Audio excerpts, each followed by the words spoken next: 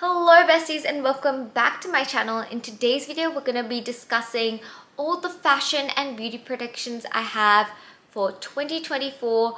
Obviously this is not all going to be accurate but these are things that I've been seeing from the runway this year as well as a few articles I've been reading. I want to cover both macro and micro trends so that obviously we cover all the bases and obviously you don't have to partake in every single trend these are just some things that I personally love to dabble in just to experiment with my fashion and beauty taste. Some might work, some might not work. And I just thought I would discuss this because I've been seeing a few things that I want to bring to light. I would love it if you guys would give this video a like.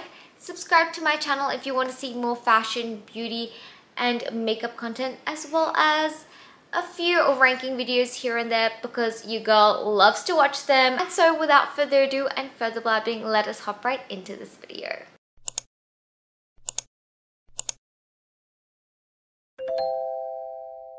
So let's start off with my favorite category being fashion at the moment. Honestly, it changes between fashion, hair, and makeup. Firstly, I want to cover leather. Not only is it going to come back in long leather skirts, but we're also going to be seeing it in micro leather shorts, which I am so, so excited for. If you know me, you know that your girl loves a leather moment and I've been obsessed with, I guess, leather dresses and just the overall aesthetics of leather pants. It just goes with every outfit and it just elevates your whole look if you get a right fitting leather piece in your wardrobe. And don't get me started on leather jackets. I i kind of collect them for a living not gonna lie. If you look at my wardrobe you will see leather jackets overtaking everything. Like for clothes i'm a basic girl. But when it comes to leather jackets it's i gotta catch them all you know before we move on, I want to also highlight the overarching aesthetic that we're going to see a lot of, which is business core or corp core, where essentially we're going to be wearing a lot of business casual clothes. Please don't mind the birds. This is what it's like living in Australia. We definitely are heading this way because of the current economic state and trying to normalize, you know, wearing 9 to 5 fashion, where people are wearing a lot of minimal pieces but staple pieces in their wardrobes rather than going on the maximalist route which requires a lot of money and a bigger budget which I personally am a fan of because I've always been like that. I do love to keep my wardrobe pretty minimal and do spend money on the occasional piece that I actually love and that is going to be associated with a certain event or occasion. I also love with the business casual aesthetic that I get to see people's style go from very young and kind of whimsical to mature and sophisticated and that's more so what I'm leaning towards in my later 20s. It just makes you look more put together and that's just something I'm just going to be striving towards whether that be immediately because I find like you have to really invest in good pieces if you want them to last long so with that being said I'm not gonna jump in and buy the first suit I see just because it's cheap and it looks it's a suit I want to get a suit that will last me years down the line and that I know that I will actually wear for an occasion that is well fitted and timeless. Again, alongside this aesthetic, I want to touch on these garments also being, like I said before, well fitted. I think we're to steer away from the loose and baggy jeans.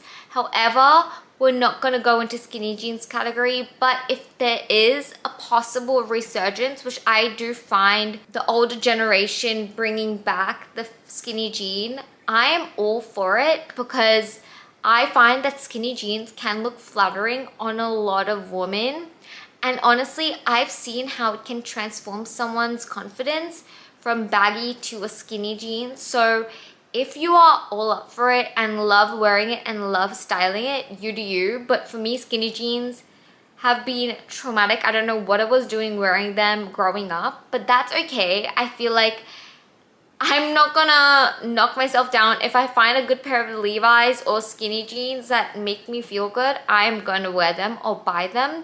But as for now, it's just not in, it's not something I'm looking out for openly but definitely support when I see others who wear it. The last thing I'm going to touch on in terms of the business casual aesthetic is the accessories of Mary Jane's and briefcases coming more into casual wear. I just see people carrying like their briefcase out out from work and wearing them when they go out for a drink with friends. I don't think we're gonna see ones that kind of are more sturdy but more kind of flexible looking briefcases if that makes sense that's like worn in versus kind of a very stiff briefcase that's used for the conventional laptop bag.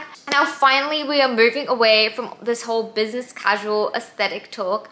I think, and I haven't really seen a lot of people talk about this or even in magazines, but rom-com core is something that I personally would love to see coming back, especially with the asymmetrical dresses and the frills and the not so conventional floral patterns where it's less of a grandma print but more kind of blown out and kind of sheer but like layered. I just think I'm gonna put some images up obviously of all these outfits because it honestly wouldn't make sense if I just like sit here and talk. Hence me sitting to the side of the camera, but I just feel like the asymmetrical line is something that I grew up seeing in rom-coms and I've always wanted to wear. So if we bring the elegant rom-com core in terms of dress, um, dresses and I guess workwear, right? Because when they went to work, they kind of styled that 90s kind of minimalistic look, which again, goes back to business casual. So I guess we are we are really going back in time to the 90s with what we wear in terms of dressing for an occasion and dressing up for work. A few things we aren't going to see going away anytime soon is obviously the off-the-shoulder top and what I've been recently seeing is great pleated or just pleated skirts which I am a personal fan of especially the ones like the skirts from like IMG and stuff, I love a good miniskirt, especially one that fits well. Ugh, absolutely, sorry, I mean skirt, especially one that fits well and just gives the illusion of a true pleated like mini skirt. It just looks cheeky but like elegant and sophisticated all at once and I live for it. In terms of the color of the year, I know that recently Pantone said it was like peach fuzz or something like that, like really a really soft light peach. But I personally think it's gonna be purple like the traditional purple not a dark not a lilac but like a traditional mid-tone purple. Because I've been seeing it come up in a lot of online retailers.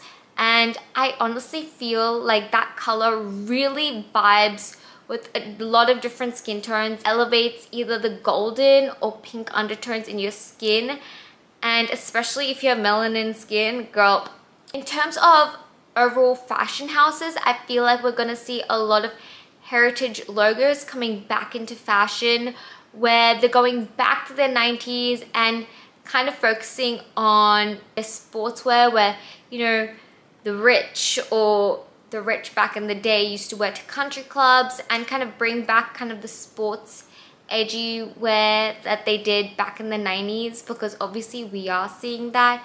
And this is definitely something I would I go for and I've been wearing for years because I love the generational appeal where everyone and anyone can wear it as well as it touches a lot of the nostalgia aspect for me in terms of, you know, seeing my favorite TV show characters like from Friends wear it and I love how simplistic it is but also functional.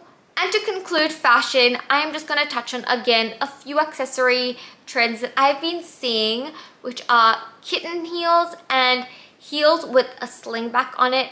I personally am all for the kitten heels. As much as your girl loves a stiletto and a pump, I will not be wearing them. I just find them looking so elegant.